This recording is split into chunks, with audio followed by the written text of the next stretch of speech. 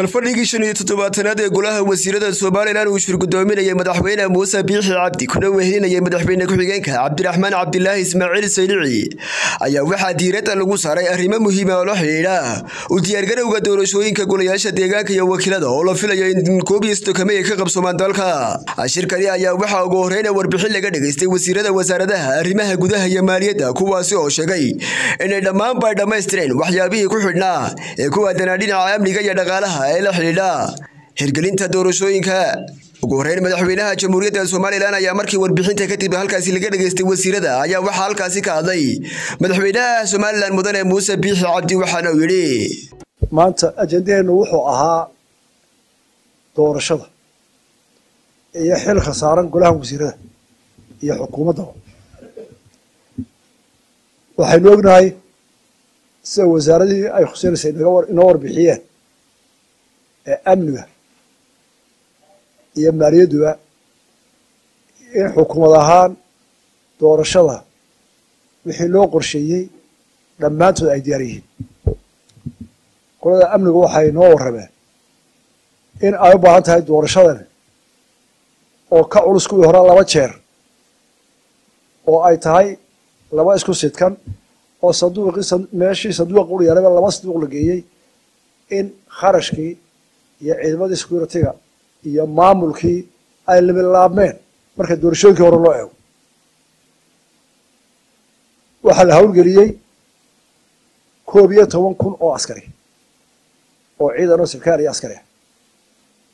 Si laba kun iyo siddeed boqol oo goobood nabadooda loo sugo. Intaa waxaa dheer ciidamadii kale oo heegan ku jira oo xuduudaha dhammaantood xidhay yacni waa qorshe aada iyo aada inoogu culus ahaan wasaaradda maaliyaddu waxay noo xaqiijisay. Waxaa leeyahay logistica looga baahnaa iyo miisaaniyad commishanka iyo howlaha dhaqaaqaya. Inay fuliyeen. Oo ay ciidamada u dheer tahay.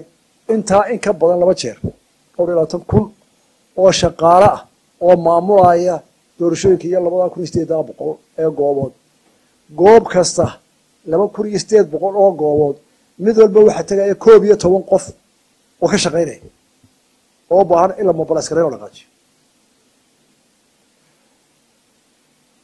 waa ilaahay mahaddii qaran ahaan inaynu hawshaasi inoo hirgashay oy maanta diyaar ku yihiin. Waxaa intaa inoo raacaya doorashooyinku habbayda iyo sharcigu ayaa qaaxay sida loo gelayo shaqaalaha dowladdu hadduu ciidan yahay hadduu shaqaalaha dowladdu yahay siyaasadda uu ka reebay oo shaqaale. Waa u dhex. Shaqadii qarankuu wadaa qoonmaal islaam io fatwa. Ma qabtaa weydiimo diini ah. Ma doonaysaa moobilkaaga inaad ka barato casharo diini ah oo af soomaaliya? Islaam io fatwa. Waxaad ka helaysaa fatwa diini ah tafsiir xadiis fiqi siiro dhaqanka suuban ducooyin soo qor fatwa ama islaam una dir hal shan eber. Abka dahab las iyo casriyeynta adeegyada shirkadda dahab shell. Dahab las oo kuu fudaydinaya islamarkaasina kuu koobaya dhammaanba baahiyaha adeeg ee edahab dahabbay iyo adeegyada shirkadda somtel mar kasta iyo mar kastaba ku isticmaal aplicathonka dahab las